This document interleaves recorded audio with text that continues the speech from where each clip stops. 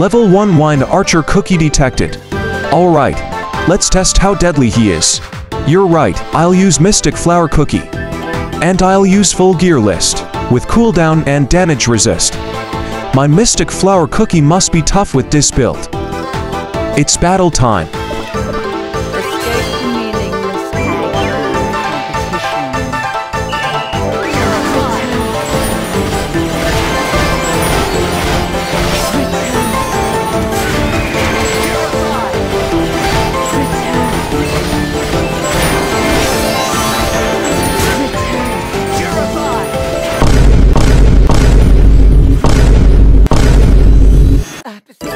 10.